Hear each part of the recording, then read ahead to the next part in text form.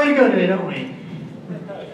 Um, First of all, uh, credentials met um, about a week and a half ago via conference call. Um, We sat 15 new state committee members. These were a combination of a couple new counties that were certified and some some vacancies that were filled.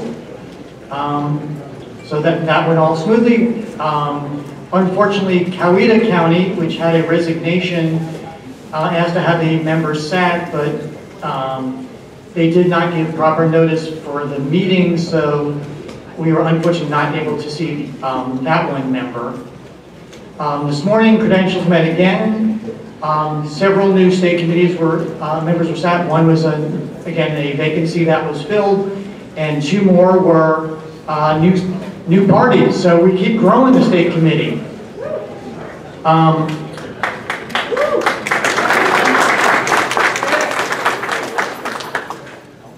Now, this is an important reminder to all of you. If you are a state, especially if you are a county elected state committee member, basically, your term ends today.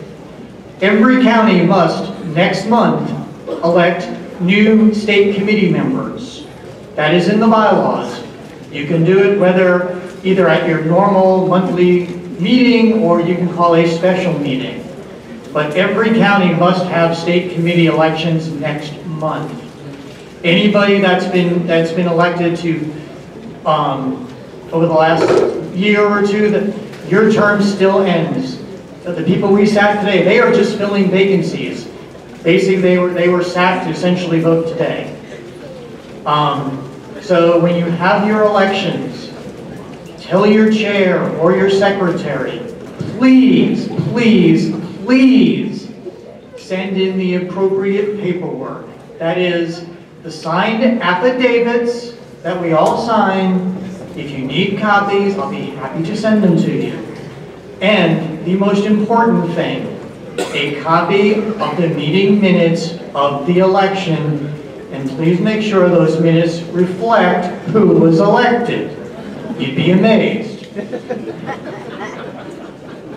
Please send those, and I implore you, send them to about 10 different people.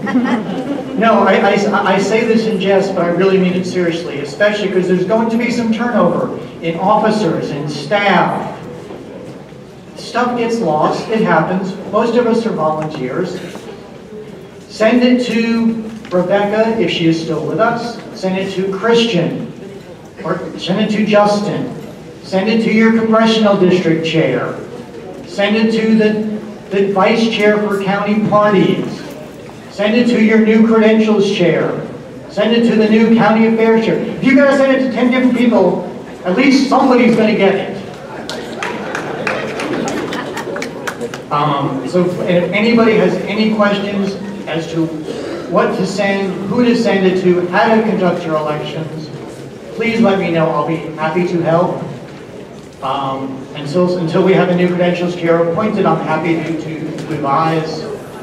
Um, As this is my last meeting as credentials chair, I want to thank the credentials committee for all their hard work.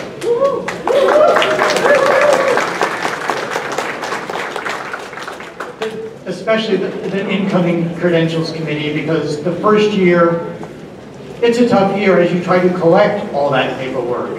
It really isn't a fun process. So please work with them, make it, make their job easier. Um, I want to thank the congressional district chairs. I want to thank Arnold. I want to thank Sarah for all their work, help working with me, getting what we need so we can get as big a state committee as we have, making sure that this process goes as smoothly as I think it has over the last few years. Again, I want to thank everybody for their support, and let's have a great rest of the meeting. Thanks, y'all.